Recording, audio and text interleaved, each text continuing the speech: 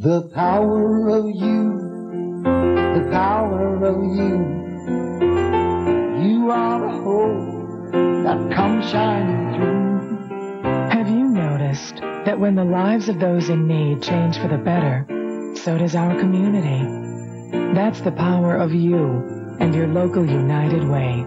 Never underestimate the power.